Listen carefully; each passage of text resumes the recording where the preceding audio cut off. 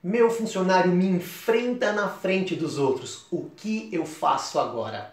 Líder, se você passa por isso, você sabe o quanto isso é angustiante. Você está lá numa reunião apresentando o projeto, dando orientação para o grupo, de repente ele vira e fala assim: Não, mas eu não concordo. Tá, mas você não concorda com o quê? Não, eu não concordo. E ele fica nessa história. No fundo, ele só quer te desautorizar. Ou você está lhe dando uma diretriz, explicando alguma coisa, ele não fala nada, mas faz aquela cara feia como se dissesse, hum, esse líder aí ó, não sabe nada do que está dizendo.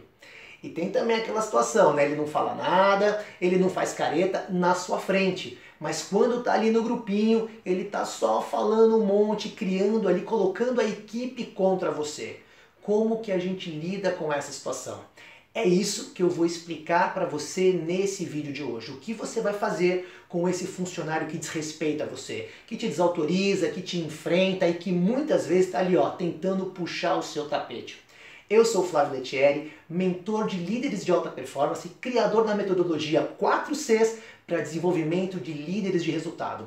E se você quiser saber um pouquinho mais sobre o meu programa de formação e liderança, eu vou deixar para você o link aqui na descrição desse vídeo. Essa pergunta eu recebi da Luana, que é líder na cidade de Blumenau, em Santa Catarina. E ela falou para mim que ela já está na função há 5 anos. Interessante, líder, que esse tipo de problema de pessoas que te enfrentam, desautorizam, não escolhe lugar, não escolhe sexo e não escolhe tempo de liderança. Qualquer um de nós está sujeito a passar por essa situação. E o que eu quero mostrar para você aqui é exatamente como você vai lidar com isso. Mas uma coisa eu já quero deixar muito clara para você. Você precisa fazer alguma coisa. Porque se você não enfrenta essa situação, se você não muda isso, essa pessoa começa a contaminar toda a equipe e você começa a ser visto como um líder ou como uma líder fraco, fraca, uma pessoa que não tem posicionamento e acaba perdendo a credibilidade, o respeito e a sua autoridade para manter a sua equipe sob a sua liderança, ok? Então você precisa agir. Talvez nessa hora você pense assim, não, mas isso é muito difícil. Se esse é o caso, eu quero tranquilizar você. Sabe por quê? Os meus alunos, eles seguem exatamente o passo a passo que eu vou te mostrar aqui e tem resultados dessa forma. Então é só você colocar em ação e ter o resultado que você precisa ter. Combinado isso? Então, como você vai resolver esse problema? Vamos pegar um exemplo, você está numa reunião, você está ali na reunião e de repente o funcionário foi lá e te atravessou, desautorizou, te enfrentou o que, que você vai fazer? Você vai parar a sua reunião imediatamente. É isso mesmo, você vai parar a reunião. Fala, pessoal, espera um pouquinho, tem alguma coisa errada aqui. Vou pedir licença para vocês. Eu quero agora conversar 10 minutos com essa pessoa. Então imagina que esse funcionário é o João. Pessoal, eu quero conversar 10 minutos aqui com o João. E aí, ou você vai sair da sala, ou você pede para o resto da equipe para sair da sala, mas você vai ter a sua conversa com o João nesse momento. Beleza, chegou ali, se prepara, se empodera, cabeça, corpo, preparado ali, preparada, e você vai chamar o João para falar. João, seguinte, aconteceu isso. E você vai explicar exatamente o que aconteceu. Você vai explicar o que você estava falando, você vai explicar o que ele falou ou o que ele fez, exatamente do jeito que aconteceu. E aqui é importante, líder, você vai falar de dados e fatos. Você não vai falar, não, João, porque você me atravessa, João, você é desrespeitoso, João, isso, João, aquilo. Não. Você não vai fazer nenhum julgamento, nenhuma inferência. Você vai simplesmente relatar o fato. A partir do momento que você fez isso, você vai dizer, João, tudo bem, eu acredito que você não faça isso por mal. E aí você vai dizer para ele, agora, João, pensa comigo. Como você acha que eu, sendo seu líder ou sendo sua líder, me sinto quando alguém da minha equipe me desautoriza, me desrespeita, principalmente na frente de todo mundo? Provavelmente, líder, nessa hora o João vai falar assim: não, mas não era isso que eu queria. Tudo bem, João, tudo bem.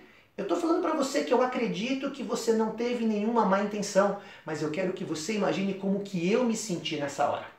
Ele vai abaixar a cabeça, vai ficar sem graça, muito sem graça, e aí você já emenda. João, o que você acha que eu espero de você e de qualquer pessoa da nossa equipe quando o assunto é respeito?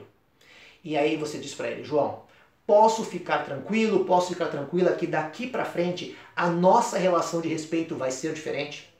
Gente, você acha que dá para o João nessa hora falar alguma coisa diferente disso? Não tem como. Então faça isso e veja o resultado. Bom, aí você conversou com o João, você volta para sua reunião. Se você saiu da sala, você volta. Se você pediu para a equipe sair, você chama todo mundo e faz aquela cara de paisagem, tudo normal, vida que segue. Pessoal, muito obrigado. Desculpa ter parado a reunião, mas eu precisava tratar esse assunto com o João imediatamente e já estamos resolvidos aqui e vamos voltar para o nosso assunto.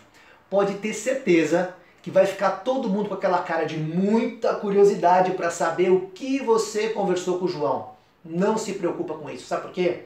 Porque certamente na cabeça de todo mundo você está passando uma mensagem clara que respeito é bom e você gosta. Afinal de contas, é você que lidera essa equipe. Eu quero que você se lembre sempre de uma coisa, líder. Liderança não é um cargo. Liderança é uma conquista diária que você vai tendo com a sua equipe a partir da relação que você constrói. E essa relação se fundamenta em respeito, confiança e autoridade. E eu quero agora ainda te dar mais uma dica, mas antes disso eu quero te fazer um pedido. Se isso que eu estou te falando fez sentido para você, se esse conteúdo está te ajudando, eu gostaria muito que no final você deixasse para mim o seu like, porque dessa forma eu vou saber que o conteúdo é importante para você.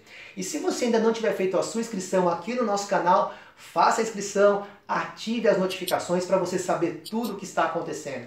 Ok? Combinado? E líder, queria te trazer mais uma ideia também. Talvez nessa hora você pense assim, poxa, mas eu, eu acho que eu não consigo ter essa firmeza, eu acho que eu não consigo ter esse enfrentamento, eu não consigo me imaginar diante dessa pessoa parando a reunião e chamando ela para conversar. Você consegue, líder, você consegue. E eu vou te dar uma técnica que vai te ajudar bastante, chamada ensaio mental. Basicamente é você construir uma imagem na sua mente dessa situação futura. Você vai fechar os seus olhos e vai imaginar, puxa, estou aqui na minha reunião com a minha equipe e essa pessoa que me desautoriza, ela fez isso nesse momento. Tudo aqui na sua mente, olhos fechados.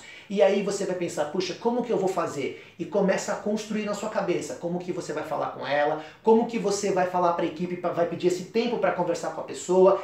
Visualiza o seu diálogo, visualiza o fechamento. E muito importante, em toda essa construção mental, nesse ensaio mental que você faz, se veja numa posição de poder pessoal. Corpo preparado, ombros, peitoral, cabeça erguida e falando com toda naturalidade. Essa técnica é muito poderosa e faz muita diferença.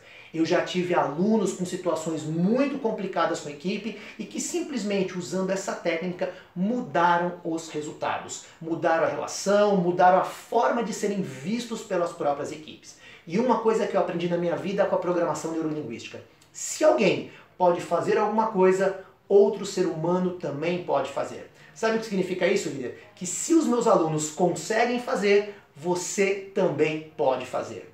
Ok? Combinado? Faça, coloque em prática e depois vem me contar os seus resultados. Eu quero muito saber.